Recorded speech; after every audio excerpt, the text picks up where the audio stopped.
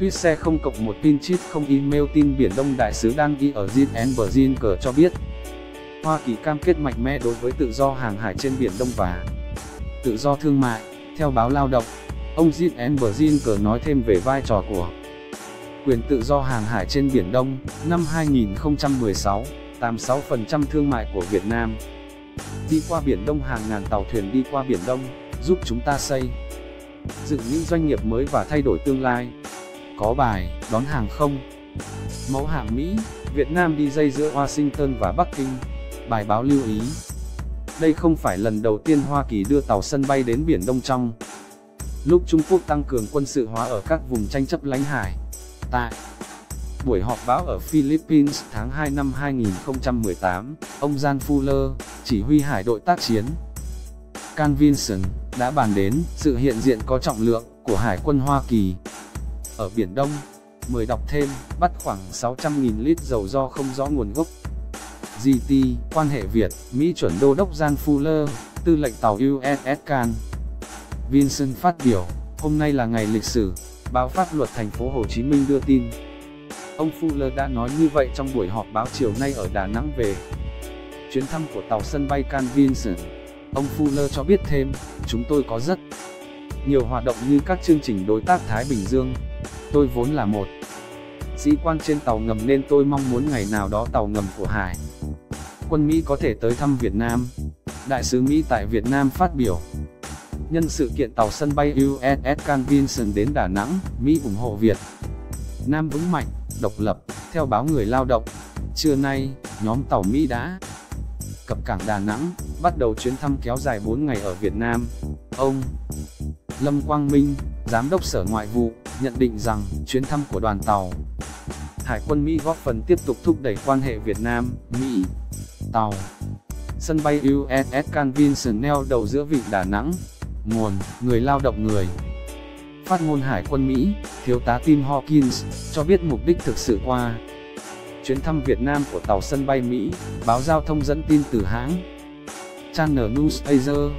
Theo đó, chuyến thăm của tàu USS Convention sẽ không tập trung và mục đích quân sự mà là trao đổi văn hóa giữa các chuyên gia địa phương và thủy thủ Mỹ. Facebook A Nguyễn Trường Uy viết, trưa nay hàng không mẫu hạm. Can Vinson đã vào Đà Nẵng. Đây xem ra chắc chắn không chỉ là một chuyến thăm mang tính xã giao, bởi vì Đà Nẵng có một vị trí chiến lược và là nơi ghi dấu nhiều cột mốc Việt Mỹ. Tháng 3, 1965, lính Mỹ đã đổ bộ vào Đà Nẵng. Tác giả lưu ý, Đà Nẵng chính là thành phố cảng gần nhất với quần đảo Hoàng Sa, nơi Trung Quốc đang chiếm đóng bất hợp pháp trên chủ quyền lãnh hải của Việt Nam và gần đây còn đẩy mạnh hoạt động xây dựng, củng cố căn cứ trên các đảo nhân tạo. Báo kiến thức đặt câu hỏi. Tướng Lê Mã Lương nói gì về tàu sân bay Mỹ thăm Việt Nam? Từ chuyến thăm của tàu Can Vinson, tướng Lương bình luận về quan hệ Việt, Mỹ, Trung, sự kiện này có thể đụng chạm đến nước láng giềng nhưng trong quan hệ đối ngoại, chúng ta đã có khẳng định là quan hệ với đối tác mà các bên đều có lợi không làm phương hại đến lợi ích của nước thứ ba. VTC bàn về chi tiết hoạt động của sĩ quan, thủy thủ tàu sân bay Mỹ. Tại Đà Nẵng, theo đó, các sĩ quan và thủy thủ sẽ tham gia một số hoạt động cộng đồng, trao đổi kỹ thuật và giao lưu thể thao trong khuôn khổ. Chuyến thăm của tàu sân bay USS Carvinson tới Đà Nẵng, VN Express có đồ họa. Về hệ thống vũ khí trên tàu sân bay USS Carvinson mời đọc thêm, tàu sân bay USS Carvinson đã vào vùng biển cảng Tiên Sa, NLD. Tàu sân bay Mỹ USS Carvinson đã neo đầu trong vịnh Đà Nẵng, VTV. Đoàn tàu Hải quân Mỹ sẽ làm gì khi ghé thăm Đà Nẵng? Beeline Hạm đội tàu Sân bay Mỹ thăm Đà Nẵng, PLO trên PLVN Tàu sân bay Mỹ thăm Đà Nẵng đem Đến điều gì cho quan hệ Việt-Mỹ? DV Đà Nẵng đón tàu sân bay và hơn 6.000 thủy thủ Mỹ, NTD. Hình ảnh tàu sân bay Hải quân Hoa Kỳ. Cập cảng Tiên Sa, Đà Nẵng, DT. Tàu sân bay USS Can thả neo. Ở cảng Tiên Sa, thủy thủ Mỹ có nhiều hoạt động trên bờ tại Đà Nẵng, Dinh. Đoàn liên ngành Việt Nam tìm hiểu tàu sân bay Mỹ. Thúc đẩy quan hệ đối tác toàn diện Việt, Mỹ, TP, tàu sân bay Mỹ. Tới Đà Nẵng, bắt đầu chuyến thăm, lịch sử. Những điều cần biết về chuyến thăm của USS Can Vinson tới Việt Nam, VOA, hàng không mẫu hạm Mỹ Can. Vinson đến Đà Nẵng, quan hệ Việt-Mỹ qua chuyến thăm của USS Can Vinson, AFI. Báo chí quốc tế viết về chuyến thăm lịch sử tới Việt Nam của tàu. Sân bay Mỹ, VNI.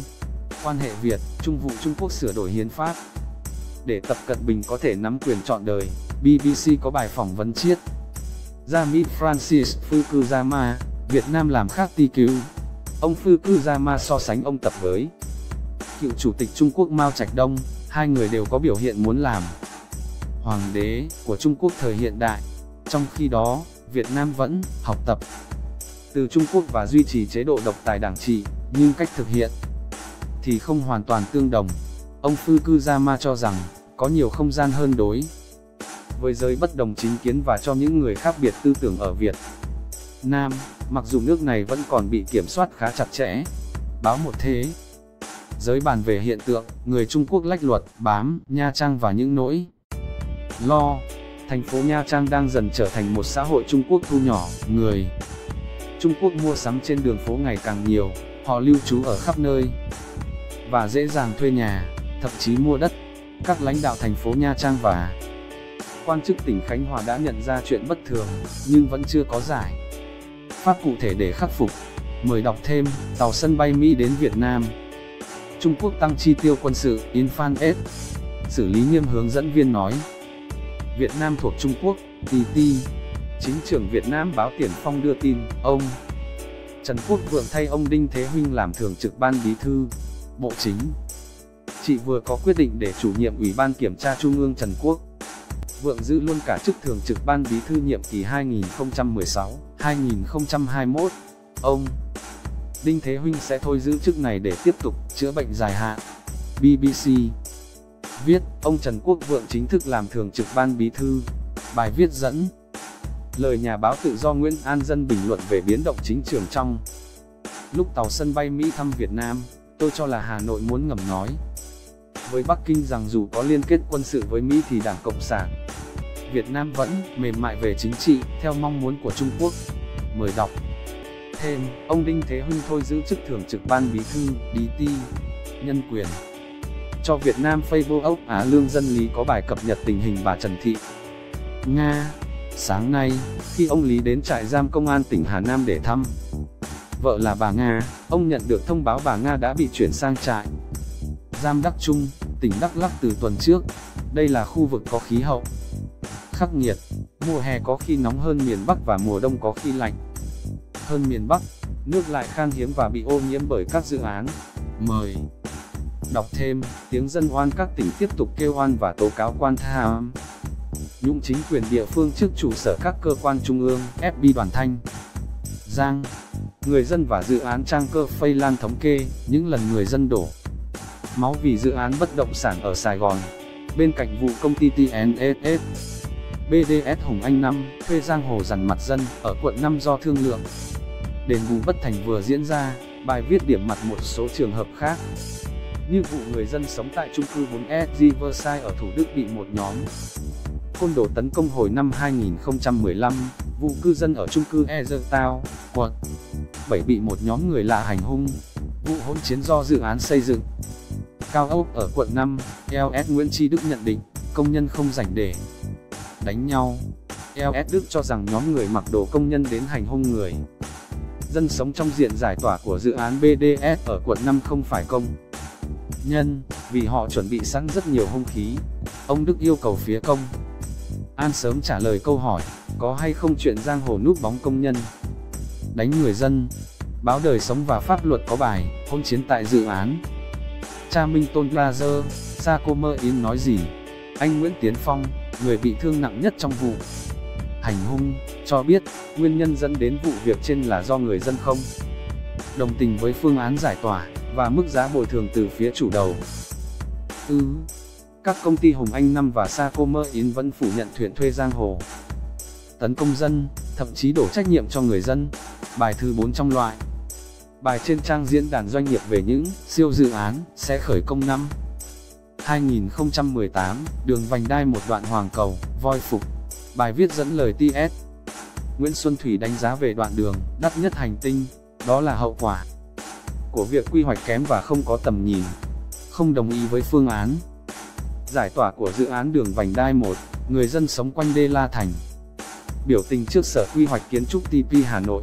Nguồn, FB Nhân dân La. Thành 139 nóc nhà mời đọc thêm, Saco mơ yến có liên quan đến vụ xô sát ở dự án Cha Minh Tôn Plaza, DV, TPSCM, dân tố bị côn đồ hành hung khi giải. Tỏa dự án Cha Minh Tôn Plaza, Infan S, chắn đường thi công ga ngầm các linh, dân. Đi đường nào khỏi tắc, DV, công an, nhân dân, cơ quan công an điều tra. Đang xác minh vụ công an Kiên Giang bị tố đánh người, Đại tá Lưu Thành. Tín xác nhận với báo pháp luật thành phố Hồ Chí Minh về chuyện tài xế Dương Hồng Hậu bị cảnh sát trật tự tỉnh này khống chế và áp giải, trưởng phòng cảnh sát quản lý hành chính về trật tự xã hội của công an Kiên Giang đã hủy quyết định phạt hành chính đối với tài xế Hậu. Tuy nhiên, nhóm công an tham ra vụ hành hung hai tài xế vẫn không thừa nhận họ bắt người trái phép. Quan chức đảng làm kinh tế trang diễn đàn doanh nghiệp đặt câu hỏi, vì sao? Lạm phát tăng mạnh trong 2 tháng đầu năm. Theo bài viết, lạm phát 2 tháng. Đầu năm 2018 của Việt Nam tăng 1,24% so với cuối năm 2017, là mức cao. Nhất trong vòng 4 năm và cao hơn hẳn các nước trong khu vực. Giá xăng, dầu, lương thực và nhiều mặt hàng nhu yếu phẩm đều tăng. Quan chức CSVN tiếp tục bán lúa giống, Hà Nội sắp có thương vụ thoái vốn trăm tỷ tại điện. Cơ thống nhất, theo VN Economy, lãnh đạo Ủy ban Nhân dân thành phố Hà Nội quyết định sẽ bán 46,9% cổ phần tại doanh nghiệp sở hữu thương hiệu quạt điện cơ thống nhất. Nếu thương vụ bán lúa giống này thành công, Hà Nội sẽ thu được trên 284 tỷ đồng.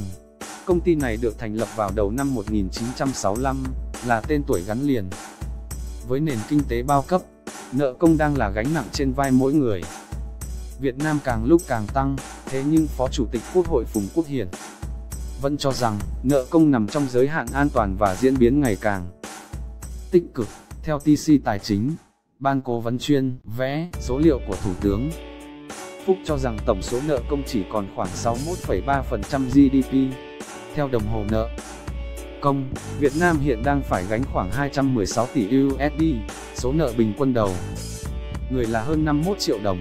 Theo đồng hồ nợ công, Việt Nam đang gánh hơn 216 tỷ USD, trong khi trang VN Economy thống kê rằng GDP năm 2017 của Việt Nam đạt khoảng 220 tỷ USD, nghĩa là nợ công Việt Nam thật ra đã gần bằng 100% GDP.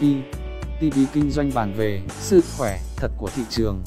Vừa qua, một số cổ phiếu trên TTCK Việt Nam đã tăng trưởng quá nóng, cùng với ảnh hưởng của TTCK thế giới, khiến tính hấp dẫn của thị trường giảm sút, nguy cơ rủi ro tăng cao. Mời đọc thêm, sẽ lấy tiền bán vốn từ sở Vinamilk để cứu 13 dự án thua lỗ DDDN trên DV. Hà Nội thoái vốn khỏi điện cơ thống. Nhất, PL Glass.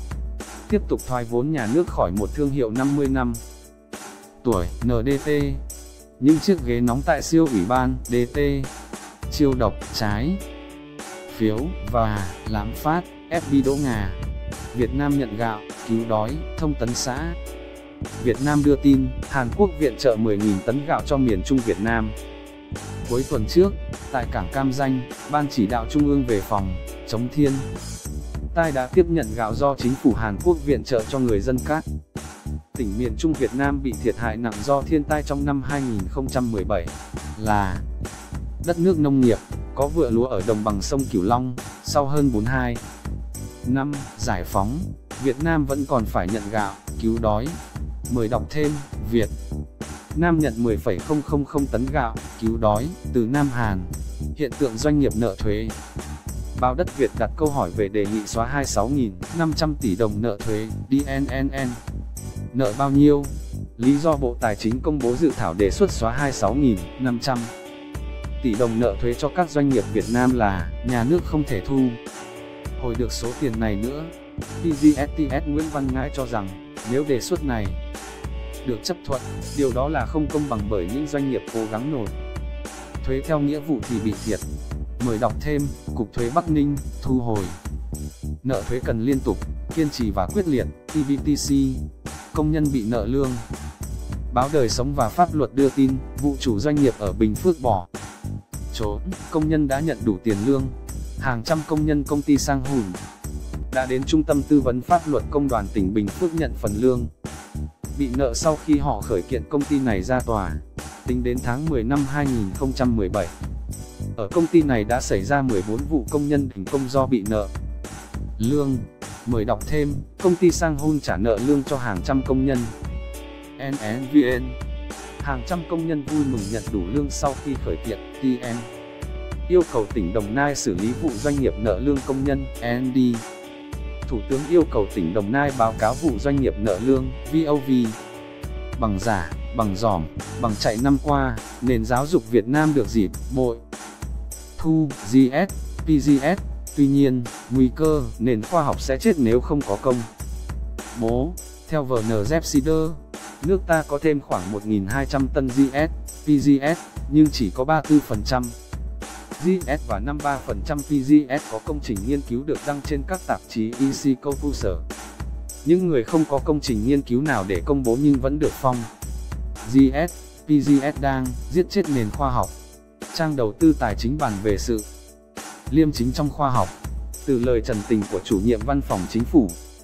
Mai Tiến Dũng về kết quả xét lại bước đầu đối với các tân GS, PGS. Bài viết nhận định, chất lượng PGS và GS ở nước ta đã đến mức báo. Động, không ai dám bảo đảm không có khuất tất hoặc không có thương lượng gì. Trong quá trình xét để công nhận học hàm ở Việt Nam, lãnh đạo trường đại học công nghiệp cho biết sẽ xử lý ứng viên phó giáo sư bị tố đạo văn. Theo báo Thanh niên, PGS, TS Nguyễn Thiên Tuế, hiệu trưởng trường này, nói, đây là sự cố đáng tiếc, ảnh hưởng đến uy tín cá nhân và nhà trường. Trường sẽ xử lý vụ việc theo đúng nguyên tắc và theo từng bước chặt chẽ để đảm bảo chính xác và khách quan. Báo Giáo dục Việt Nam đưa tin, Phó Giáo sư chép, sách từng là bị can trong một vụ án. Ông Đặng Công Tráng, người chủ trì công trình đạo văn ở Đại học Công nghiệp, từng là bị can trong vụ án làm giả tài liệu của cơ quan nhà nước hồi năm 2005. Theo cáo trạng, ông Tráng cùng năm đồng phạm đã làm giấy báo điểm giả để giúp hai người cháu và một số khách hàng vào được đại học. Bị can Tân Minh Hòa thỏa thuận với ông Tráng giá cho mỗi thí sinh vào đại học là 30 triệu đồng và vào cao đẳng 22 triệu. LS Lê Văn Luân bình luận, kẻ đã từng phạm tội làm giả giấy tờ, lại được phong làm phó giáo sư luật học nhờ chép sách của những người khác, và yên tâm công tác để dạy dỗ bao lớp người về luật. phát cùng lẽ công bình cho đến lúc bị phát hiện, nền giáo dục dung chứa được những thứ quả thật là kinh khủng.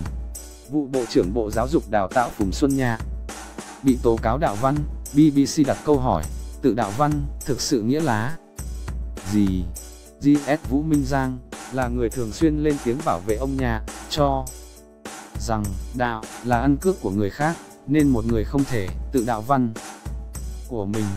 Ông Giang tiếp tục chứng minh rằng ông hoàn toàn xa lạ với những chuẩn mực nghiên cứu khoa học phổ biến nhất của Việt Nam và thế giới. Mời đọc thêm, lùm xùm giả soát GS, PGS, còn đâu niềm